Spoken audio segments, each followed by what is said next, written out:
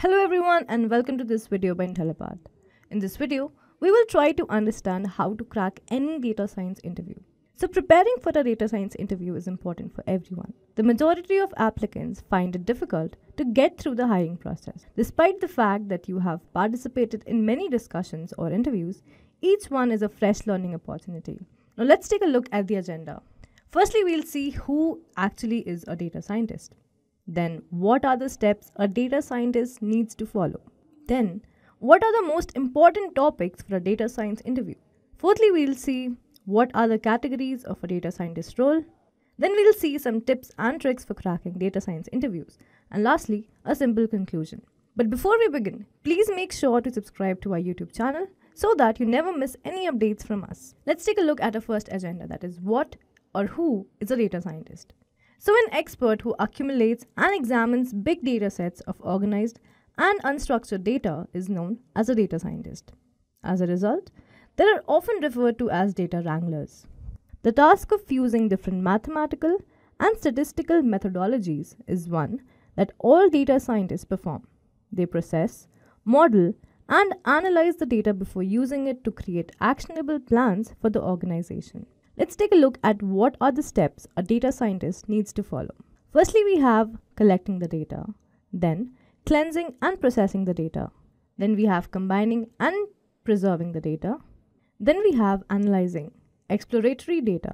Next comes deciding which prospective models and algorithms to use. Then we have utilizing numerous data science methods such as statistical modeling, artificial intelligence, and machine learning.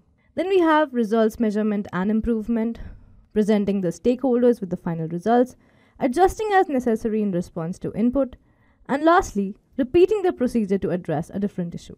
Now, what are the most important topics for a data scientist interview? Firstly, we have writing functions, logic, control flow, searching and sorting algorithms, object oriented programming, and utilizing third party libraries, as well as all common data structures like data types, lists, dictionaries, sets, and tuples. Then we have the creation of Python scripts to extract, format, and store data into files or back into databases. Thirdly, we have using NumPy, managing multidimensional arrays, slice, transpose, broadcast, and generate pseudo random numbers. Then, executing vectorized operations using NumPy and other scientific computing packages. Then we have series data frames, indexing within a data frame, comparison operators, merging data frames, mapping, and applying functions are all examples of data manipulation techniques with pandas. Then we have wrangling data using pandas, includes testing for null values, imputed values, grouping, describing, exploratory analysis, and more. Lastly, the API hierarchy, adding styles, colors, and markers to a plot, understanding different plots and when to use them line plots, bar plots, etc., and Seaborn for more complex plotting are all part of data visualization with Matplotlib. Now, there are a number of categories of data scientist roles. Let's try to name a few of them. Firstly, we have data analyst. Firstly, we have data analyst.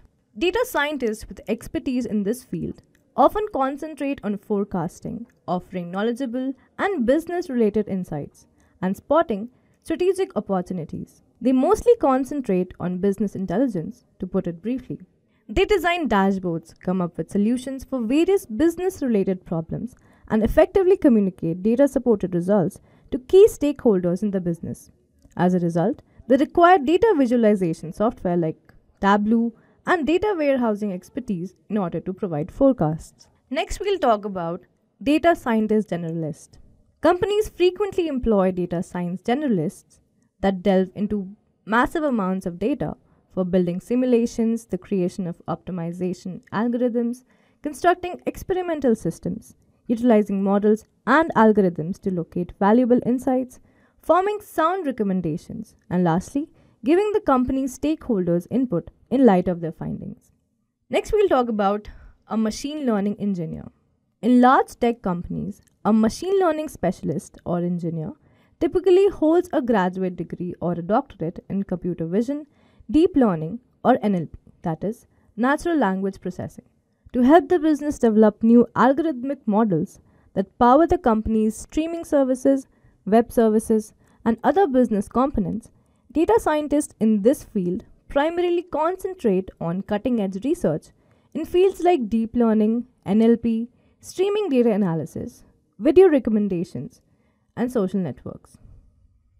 Next, we have data engineer, building tools or solutions for use both inside and outside the firm is the primary emphasis of the data engineering team. It also develops data pipelines and its functions closely resembles that of the engineers that work in machine learning. Lastly, we have statistician. The statistician's responsibility is to deal with both theoretical and practical statistics in order to accomplish the necessary business objectives. He possesses critical abilities including data visualization, from which it may be deduced that he has become an expert in particular data scientist disciplines. Now let's take a look at some tips for cracking DS interviews. Firstly, we have study the company and the role. This is possibly the most important component of interview preparation for data science. Candidates that have taken the time to learn about the business and understand how data scientists may contribute will stand out to recruiters. Next, we have examine your portfolio and past projects. The data science portfolio you have will get you an interview, even though it won't be enough to get you employed. So, give your portfolio the same amount of attention you would to your resume. Additionally, be sure to showcase your most pertinent projects in your portfolio and customize them to the organization you're applying for. Next, we have refresh your memory of foundational ideas. You will need not to show off your technical expertise to ace your data science interview. Technical recruiters want to see that you have a firm grasp of the fundamentals, whether you are just starting out or seeking a senior level post. In order to be prepared for your data science interview, you should review the following technical concepts that are probability, statistics, hypothesis testing, descriptive and Bayesian statistics, dimensionality reduction. Next, we have developing your technical skills and getting ready for the test. Firstly, we have statistical analysis. The majority of data science uses computation to express mathematical concepts. So, if you want to work in data science, you must have a firm grasp of mathematical and statistical ideas. Next, we have working with data. Data scientists obviously need to be skilled at working with data. However, Hiring managers want to know that you are familiar with and confident working with the complete data science process. The first step in working with data is to source it. You must therefore show in your data science interview that you are capable of selecting data sources and extracting the desired data. The next phase in the data science process is cleaning data. So, be prepared to show these abilities as well. Finally, you will need to examine your data using tools. Next step is regarding programming. It is not necessary for all data scientists to have programming experience, but it is quite beneficial to know how to code. If you are just starting out with data science programming, Python and R are both good options. Lastly, we have visualization and modeling. A key component of a data scientist's job is presenting their findings. To accomplish this successfully, you must communicate technical concepts to non technical stakeholders.